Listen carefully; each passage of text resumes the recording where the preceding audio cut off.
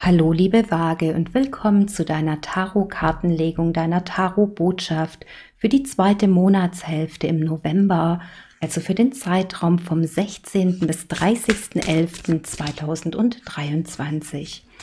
Ich bin Daniela von Sonne Sand Meer Tarot und wie immer ist das hier eine allgemeine Legung, in der ich keine persönlichen Ratschläge gebe.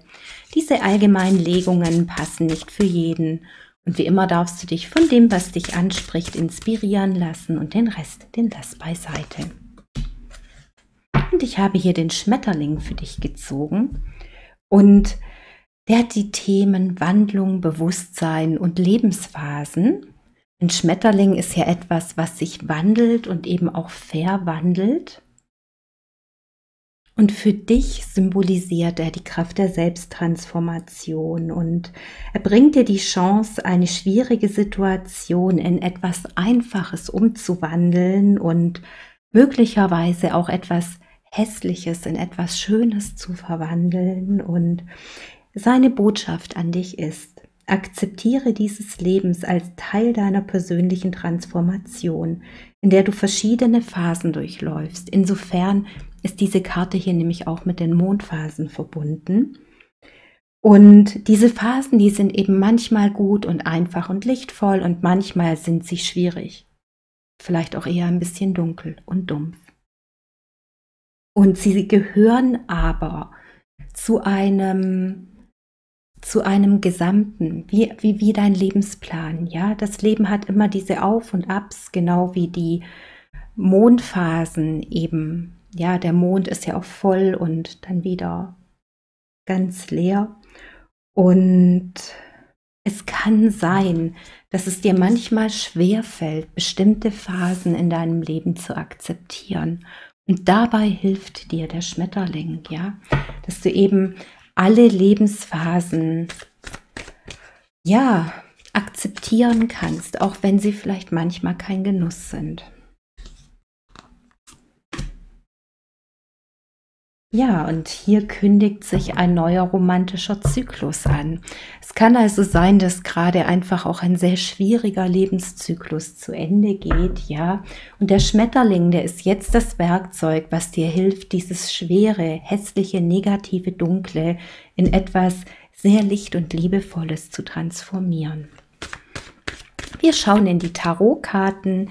Ich ziehe wieder drei Karten. Die erste ist wieder die Aufgabe oder Herausforderung, die zweite der Rat der geistigen Welt und die dritte ein mögliches Ergebnis, das mit deinem Denken, Fühlen und Handeln zu tun hat.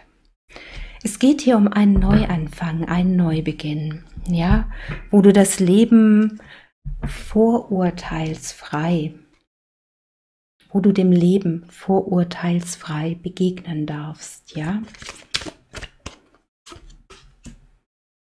Und die drei der Stäbe. Und die drei der Stäbe zeigt Visionen, die bis weit in die Zukunft gehen. Und du siehst ja, dass das Land, auf dem er steht, ist vom Sonnenlicht erfüllt. Ja, das heißt, es geht jetzt in etwas Neues, in etwas Helles, in etwas Lichtvolles. Ja, was das Potenzial hat, bis weit in die Zukunft zu reichen und was auch die Chance bietet, dich zu verlieben oder dich auch in das Leben zu verlieben, das Leben zu lieben, vielleicht auch das Leben mit seinen Höhen und Tiefen zu lieben.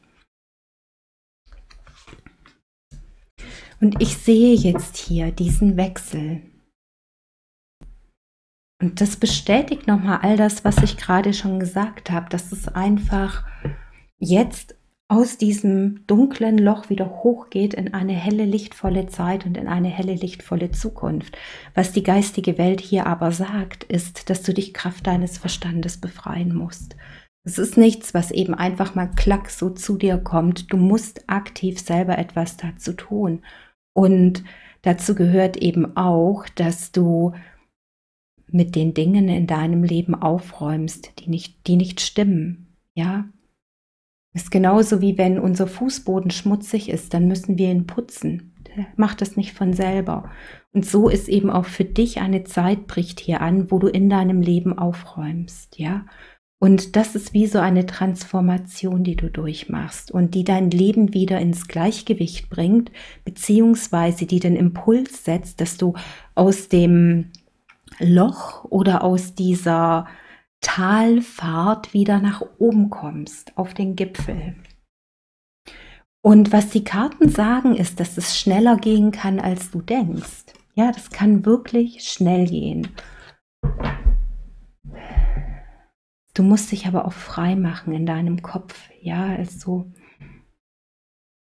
du musst dich befreien. Das ist so etwas, was ich hier ganz zentral sehe in diesen beiden Karten, ja. Und es kann sein, dass dein Denken dich unfrei macht, dass du denkst, du kannst das nicht, du schaffst das nicht, du bist zu schwach.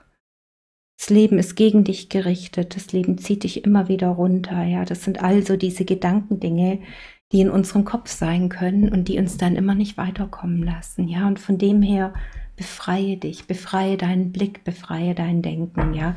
Und das hier ist wie so ein Schmetterling, der noch in seinem Kokon ist, ja. Und dann eben schlüpfen darf. Ja, und wenn du dich aus deinem Kokon befreist und anfängst zu schlüpfen, dann kannst du auch fliegen und dann entwickeln sich die Dinge schnell und positiv für dich. Und auch für dich kommt hier noch ein Edelstein, Clear the Clutter. Ja, das ist eben genau das, was ich gerade schon gesagt habe. Ja, das ist so, was ist Clutter?